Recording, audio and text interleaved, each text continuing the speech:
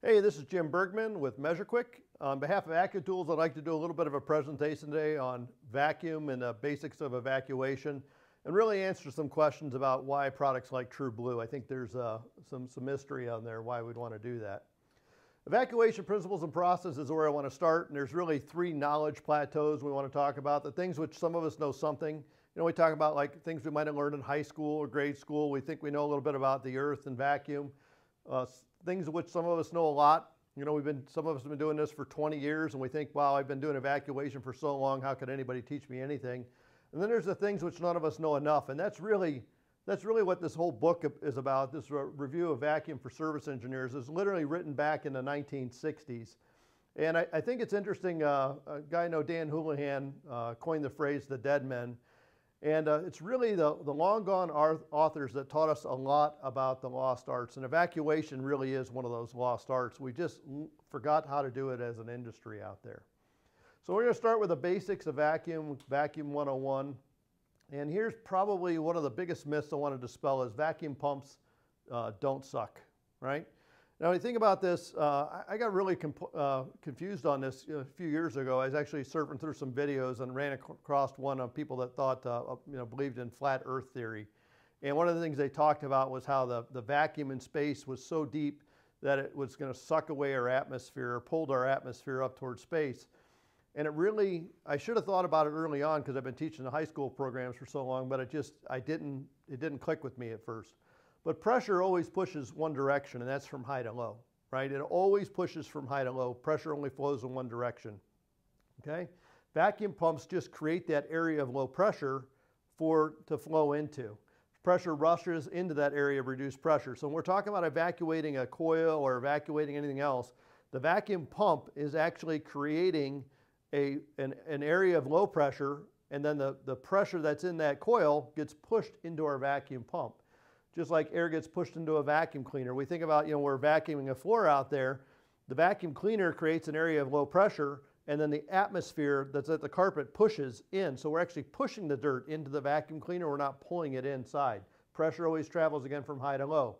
Here's another important thing to understand is when the pressure difference becomes too low, the pressure flow will stop. And that's a really important concept to understand. Now, vacuum is just empty space, and we're talking about, you know, our upper atmosphere, uh, about 56 miles up. We have the deepest vacuum that we can, uh, that uh, a deeper vacuum in space, 56 miles up, than we can ever achieve at, uh, at sea level, all right? Now, if you think about, we said earlier, pressure only goes from high to low. So how does this work? Well, the Earth is heated by the sun. The sun is the only new energy that we ever get, and that is superheating gases at the earth level, and that's what's creating our atmosphere. And then that atmosphere is simply pushing, the pressure generated down here is pushing up into space. So about half the weight of our total atmosphere is about 3.75 miles up, and about three quarters of the weight, a quarter plus half, is seven miles up. And beyond that, it gets almost, uh, you know, really, really deep vacuums at that point. And gravity pulls the gases uh, back down towards Earth, but the pressure is pushing up. So at this point, we have our highest pressure down here where, it's, where the uh, gases are being generated. They're pushing up into space. The Earth's gravity is pulling back down, and it's just as high as we can push against the gravitational forces of Earth, right? That's all it is. At 60 miles up, the pressure becomes so low that there's no force left to push it into space. Atmospheric pressure versus vacuum. This is really what we call the first plateau of knowledge. And here's the key things to understand. Vacuum is any pressure lower than atmospheric pressure. That's, that's all it is. It's just whenever we're talking about going into a vacuum, it's any pressure lower than atmospheric pressure. You might hear words like deep vacuum. Well, there's no such thing as a deep vacuum. It's just a relative to the atmospheric pressure. So it's vacuum is vacuum at the end of the day. Nature can create a higher vacuum than can ever get attained by man. If the state of vacuum is also uh, that of low absolute pressure. So you're going to hear all these different terms. And vacuum is always measured in units of absolute pressure. So 0 psia, that's a, a, perfect vacuum. That means all the atmosphere has been removed. Negative uh, 14.696 psig. Now what we're talking about is uh, against a relative pressure, right? Zero, zero psi relative. Um, that we would have negative 14.696 psig. That's again down in a perfect vacuum. or 29.996 inches of mercury or zero microns of mercury. All these are just different ways that we describe uh, a perfect vacuum. In practice, though, we can only achieve a partial vacuum. We can never achieve as deep of a vacuum as we can in space. We cannot remove all the molecules. An evacuation is simply the removal of the free air. That's all we're doing. We're just taking the free air away. That's uh, oxygen, nitrogen, other gases, and also the water vapor that's attached. By definition, going back to the, uh, to the uh, Vacuum for Service Engineers book, our work becomes involved with air leaking into a system. We refer to this as free air and that's the unconfined atmosphere which we freely breathe in contrast to compressed air, which is mechanically compressed, right? So it's just the air in this room is free air. Gases have molecular activity. Now, this one's an interesting and probably a really hard concept for some people to understand, but hopefully I'll get it explained to you here. If I have a 100 cubic foot tank of water and I have a pump that pumps 10 gallons per minute or 10, 10, excuse me, 10 cubic feet per minute, in 10 minutes, we'll have emptied all the water out of that tank, right? 10 times 10 is 100. If we run it for 10 minutes, it's going to drain all the water out of the tank. Well, atmosphere is completely different. If we have 100 uh, cubic foot of gas and we exhaust at a rate of 10 CFM,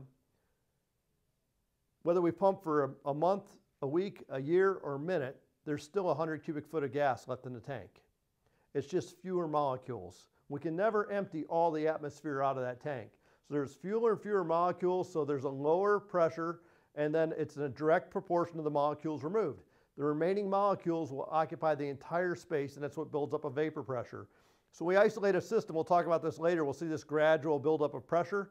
That gradual buildup of pressure is just the pressure created by the, by the molecules that are left. No matter how long we evacuate that, we cannot pull all the atmosphere out of that tank. Vacuum is also a really poor conductor of heat gases, um, as the molecules are removed, there's fewer and fewer molecules left to bump into each other, and this is the reason vacuum is used for insulation of a thermos, right?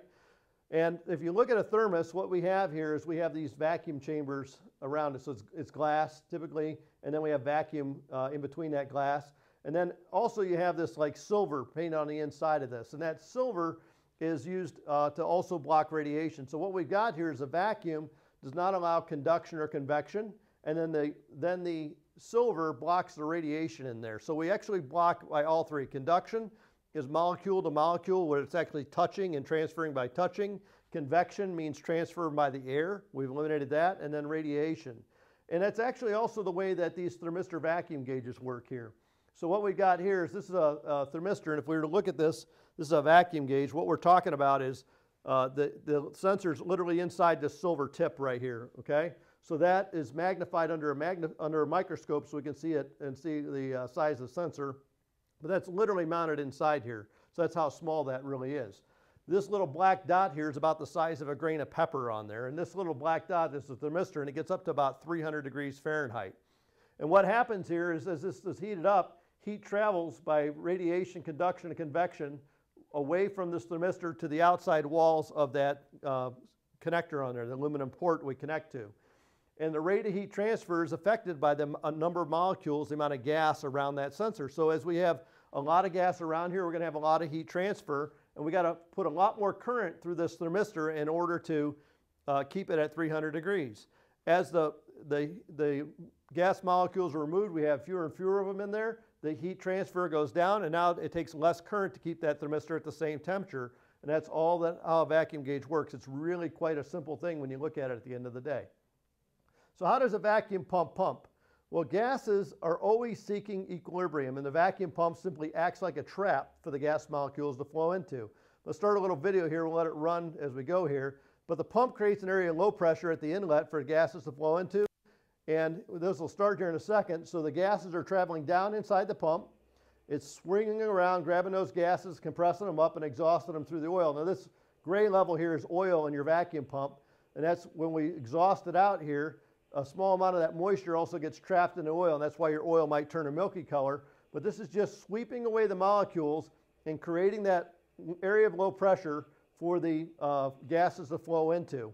When this pump can no longer pull, in other words, when the, this, this seal right here on the edge is an oil seal, and when that oil uh, reaches its ultimate vapor pressure and a pump can no longer uh, pump any deeper, we, we've reached a state of equilibrium, right? And that's typically around the 10 to 25 microns for a decent pump. Uh, this one here I have on the table here, this Navac pump's rated at five microns, so it'll pull down a little bit uh, lower with the right oil in it. So the hose is just simply an extension of the vessel being evacuated, and this is really why it's so important.